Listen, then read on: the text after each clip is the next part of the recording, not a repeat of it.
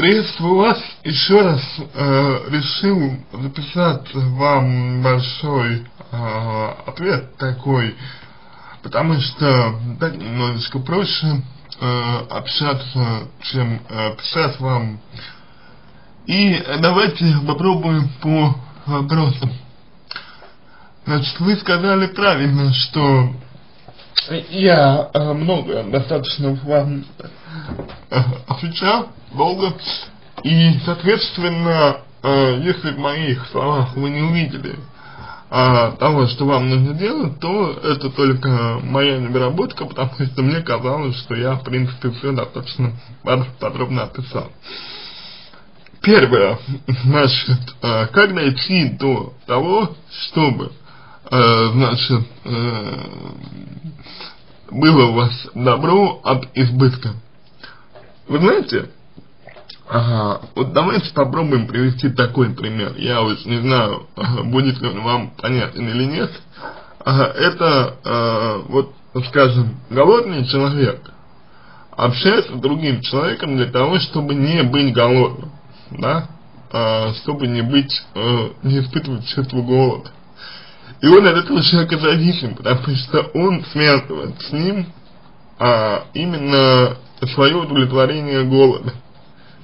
Но это же не свободные отношения, вы понимаете, это зависимость. Вот такая же зависимость есть и у вас. Вы э, стремитесь это добро получить от другого человека, при этом, при этом, э, сами этого, добро не, этого добра не имеете. Что для вас добро? э, для вас добро это семья, отношения, дети, вот это хорошо. Нежность, доверие, вот это хорошо для вас. И вот к этому нужно стремиться. Но семья, отношения и дети это следствие того, что у вас будут отношения с э, мужчиной. А отношения с мужчиной могут быть в том случае, если вы все остальные свои потребности кроме семьи и детей, уже удовлетворен. То есть, а для чего вам нужна семья? Чтобы чувствовать себя полноценным, возможно. Но я предлагаю вам ответить на этот вопрос. Для чего вам нужна семья? Вот лично вам. Для чего? Вы считаете, что так должна, э, ну, это должна иметь женщина? Должна кому? себе, обществу, до тех пор, пока вы будете э, отношения с мужчинами воспринимать как средство для достижения ваших целей в виде отношений и детей, будут проблемы. Мужчину нужно воспринимать как саму цель. А уже из отношений с ним, может быть, появится семья. А может быть и не появится отношения никто вам, к сожалению, не гарантирует. Это момент, который нужно понимать. До тех пор, пока вы будете направлены в отношениях с людьми на конкретные цели, такие цели, как семья, дети, у вас будут проблемы. Дальше. А, значит, вы сказали, что ему некомфортно со мной очевидно. Но, может быть, есть способ, как сделать, чтобы ему было хорошо. Как сделать, чтобы ему было хорошо, это ключевой момент. Прислушивайтесь к тому, чего хочет другой человек. Что ему важно, что ему ценно, что, чего он желает. И дайте ему это. Но давайте ему это так, дозированно, да, чтобы он видел, что вы, безусловно, этого делать не станете что вы будете давать ему э, то, что он хочет тогда, и только тогда, когда он будет отвечать вам тем же. Для этого необходимо, например, э, сделать следующее. Вот мужчина любит, скажем, э, уют, да, уют. И вы ему дали этот уют один раз, когда, например, оказались э, в его квартире, допустим. Он говорит, ну, дай мне еще раз этот уют. Вы говорите, нет, я дам тебе этот уют только тогда, если ты дашь мне то, что хочу я. А вам нужна нежность, доверие и так далее.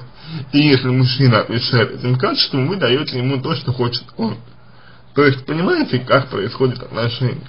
но при этом мы не задумываетесь над тем, будет ли у вас в обязательном порядке семья или нет. Будут ли у вас дети в обязательном порядке или нет. Поверьте, чем быстрее вы спешите в отношениях, тем меньше у вас шансов на то, что они будут успешными. Это нужно понимать. Далее, мне не очень понравилось, что вы сказали, что я поставил вам диагноз. А, думаю, что диагнозы ставят психотерапи, э, психиатры, а психологи э, диагноз не ставят. Я выявил вашу проблему. И эта проблема, она кажется мне сейчас наиболее важной. То есть, ваша проблема в том, что вы э, воспринимаете семью как самоцель, а мужчину как, как средство, не э, прислушивайтесь к желаниям этого мужчины, мужчины еще раз, по моему мнению. По моему, по моему мнению, так обстоят дела. Может быть, я ошибаюсь, может быть. Но из того, что вы написали, это вытекает вроде бы относительно э, однозначно. И если так, то именно вот это нужно менять. Далее. А чтобы э, скажете вы, что делать, э, если мне хочется семью? Видите ли, в чем дело? А, если вы хотите семью и детей абстрактно, то есть без контекста э, мужчин, то семью можно кормить вот с мужчиной, да, конкретный мужчина, конкретная семья, конкретные отношения и дети. Но если вы хотите абстрактно, то есть отвлеченно семью и детей, это означает, что они вам для чего-то нужны. Они нужны вам либо для ощущения собственной полноценности, либо, либо собственной значимости, либо там еще какого-то страха. Нужно понять, для чего вам нужна семья, для чего вам нужны дети именно в абстрактном смысле, то есть отвлеченно от мужчин вообще. И вот это достичь. Потому что, если вы будете руководствоваться своим образом семьи, своим образом отношений, то вы автоматически, не помню, говорил я вам это или нет, будете стараться подогнать человека под эти э, требования, под эти стандарты, а это неправильно, это неверно. Сначала нужно удовлетворить вашу потребность в том, для чего вы хотите семью. Потому что семья это средство пока для вас. Средство для достижения собственных целей, не связанных с семьей. Это что-то другое. Я уже сказал, может быть место в обществе, может быть полноценность, может быть что-то еще и так далее. А, но тем не менее, это факт. Это факт. А, и я думаю, что э, вам нельзя, ну нельзя семью воспринимать как э, самоцель.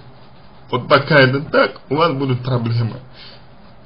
И я думаю, что э, вам нужно избавляться от э, сомнений в себе, то есть не сомневаться в себе, не сомневаться в том, что вы э, хуже, если у вас нет семьи.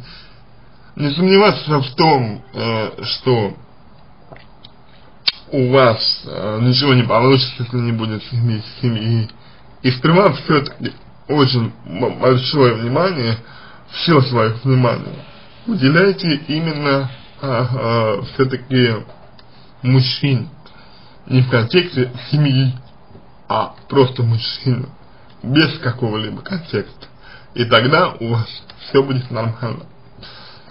На этом все. Надеюсь, что теперь стало немножко понятнее. Ага, если какие-то вопросы остались, пишите, спрашивайте. Э, удачи вам!